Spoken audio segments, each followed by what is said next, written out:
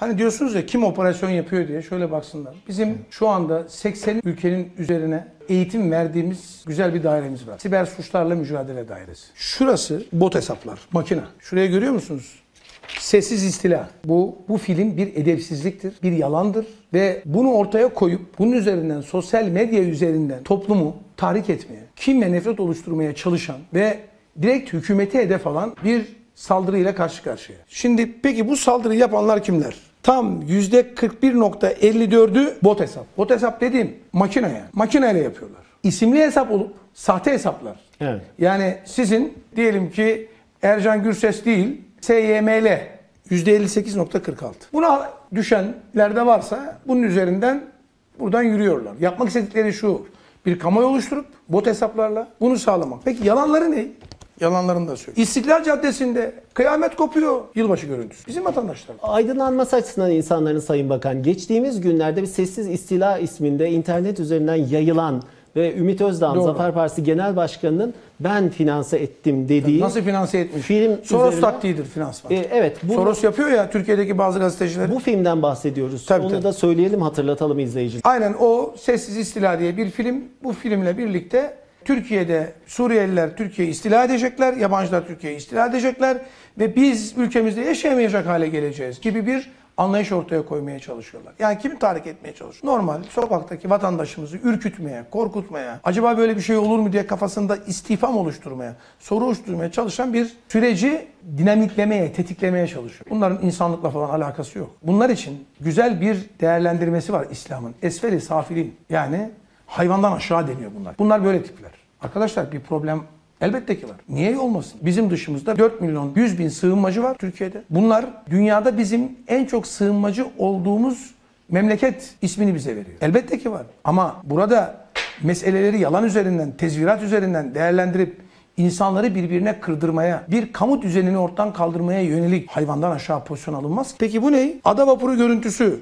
Suriyeliler bayramda ada vapuru. Öyle değil. Çok basit bir şey. Ada vapurunda Afgan istilası olarak servis etmişler. Yani bu Körfez ülkelerinden gelen Arap turistlerin gezisi. Devam ediyoruz. Yine Şirinevler meydanda sabahki şu durumu görüyor musunuz? Bu felaketi görüyor musunuz? Allah'tan korkun.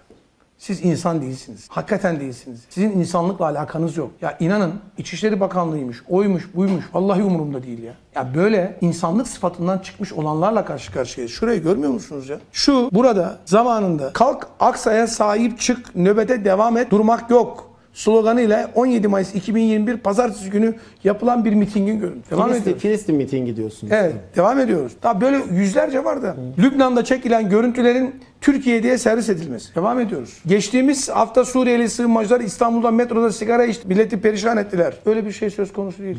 Bu adam da içeri alındı. Sonra da adli kontrolle serbest bırakıldı. Adli kontrol demek şu demektir. Bir daha yaparsan görürsün diyen kapacak olduğunu demek. Yargı diliyle ifade ediyoruz. Burada böyle bir şey söz konusu değil. Türkler bunlar. Kendi vatandaşlarımız. Devam ediyoruz.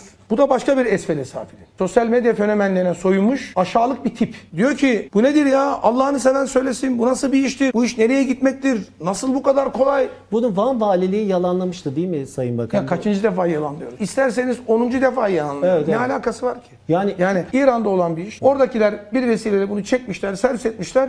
Bunlar da ellerine malzeme lazım.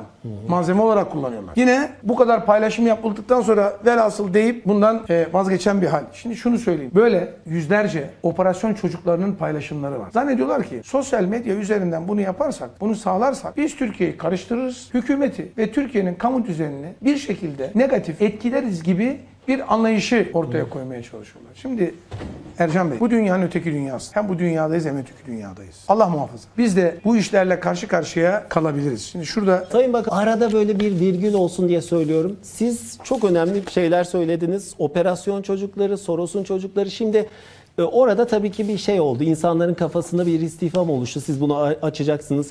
Ya verebileceğiniz maksimum ayrıntı nedir bu konuda? Bilmiyorum. İstihbaratlar nedir? Burada verebileceğiniz, açıklayacağınız hepsi istihbaratlar nedir? dikkat ederseniz hepsi bir merkezden yönetiliyor. Yani Batı eksenine AB, e, Amerika eksenine bakabilirsiniz. Ve büyükelçiliklerin içerisindeki operasyon çocuklarına bakabilirsiniz. Tekrar Hangi büyükelçilikler? Ee, AB bu bu söylediğim organizasyon içerisindeki büyükelçiliklerin içerisindeki operasyon. Şimdi şöyle sığınmacıları bir yandan tutun diyor Avrupa Birliği. Bir yandan niye böyle bir şey yapsın yönünde görüş beyan edenler de var da. Çünkü Avrupa Birliği Türkiye'nin depo olmasını istiyor. Ne deposu olmasını istiyor? Göçmen deposu olmasını istiyor. İşte böyle Ercan Bey, algısı, evet. bu, tep, bu, bu yetmiyor bu. Bu bizim yaptığımız insanlık yetmiyor. Tam tersini istiyorlar. Tamamen Türkiye'yi dışarıdan getirdikleri ve daha sonra opere edebilecekleri bir sistemin içerisine düşürmek istiyorlar. Türkiye güvenliğini sağladığı için, sınırlarını sağladığı için. Şimdi şurada bir rakam vereceğim. Bu arada bir Ee, soru sorabilir miyim buyurun. acaba? Sessiz İstila filmini fonladılar mı? Kim fonladı? Adam kendisi ben fonladım diyor. Ee, Ümit Özdağ söylüyor ama sizin Bu yargının sö- görevi. Söylediğiniz ha, bir saniye. Ha, böyle bir şey Şimdi var. yargının yapması gereken şu. Yargı diyecek ki sen fonladın kardeşim bu filmi. Bu film kin, nefret ve düşmanlık üzerine oluşturulmuş bir film. Eğer bu filmi sen fonladıysan sen bunu nereden fonladın? Bu para nereden geldi? Acaba Ruşen Çakır gibi sen de Amerika'daki bir takım Türkiye'yi karıştıracak vakıflardan mı para aldın? Onlardan mı fonlandın? Bilginiz Yoksa var mı sen- Sayın Bakan? Bunların hepsi çıkacak. Yoksa Ruşen Çakır'la oturup sohbet edip eziyet çeken, zulüm çeken insanların üzerinden kah kah kih kih başkalarının paralarıyla beraber keyif yapmak elbette ki bu ülkenin yargısı tarafından cezasız bırakılmayacak. Bu işin arkasında büyük elçilikler vardı gibi Bu bir tamamen algı oluştu. ajan provokasyon meseleleri. Bunu hepimiz biliyoruz. Anladım. Sayın Bakan e, şimdi e, Daha tabii devam ediyoruz. Evet bakın. buyurun. Diyor buyurun. ki bu da Türkiye'de siyaset yapmış, meclisin içerisine girmiş bir müfteri. Buna bir kısa film diye bakabilirsiniz. Bu arada Sinan Oğan'ın bir tweet'i olduğunu Kiminiz- hatırlatalım. Kiminiz abartılmış da diyebilir. Ancak olmaz olmaz dediğimiz ne çok şey oldu. 100 bin Suriyeli kırmızı çizgimiz denmişti. Toplam sayı 10 milyona yaklaştı. Tam bir sessiz istila yaşanıyor. Şimdi hani diyorsunuz ya organizasyon mu bu? Şimdi bir başka kişi daha bu işin içerisine katıldı. Sözüm ona bakan yardımcısı İsmail Çataklı nereden uydurdu bilmiyorum ama bizim yıllardır TV'lerde sosyal medyada söylediğimiz rakamlar bellidir. Resmi rakamlardan hareketle Türkiye'de 6 milyon Suriyeli olduğunu ifade ediyorum. 10 milyon, 6 milyon. Ya bunlar da ahlak denilen bir kavram kaldı. Bunlar birilerinin çocuğu olmuşlar. Bu çok net söylüyorum. Çok sert ve açık da söylüyorum. Bunlar bu ülkenin çocuğu değiller. Bunlar birilerinin çocukları olmuşlar. Operasyon çocukları olmuşlar. Bunlar Soros gibilerin çocukları olmuş. Bu kadar açık ve net. Devam ediyorum. İsmail elindeymişken BM'de 9 milyon Suriyeliyi besliyoruz diyen Feridun Sinirlioğlu ve aynı açıklamayı bizim BM temsilcimiz 3 kez yapan Milli Savunma Bakanı Hulusi Akar ile ilgili suç duyurusu yapar mısın? O kadar ahlaksızlar ki demin söyledim. Şimdi 9 milyon derken ne dedim demin? Siz çevre bölgelerde Bak yaşayanlar. şurada tabii elbette ki burada güvenliğini sağladığımız 6 milyon insan 6 milyon insan ve biz bunların sadece güvenliğini sağlamıyoruz. Geçen gün İdlib'e gittik. 57 bin ev teslim et. 10 bin ev yapılıyor. 10 bin ev daha projelendirdi yapılacak ve 100 bin sayısına çıktı. Biz sadece onu yapmıyoruz. Bir fırına gittik.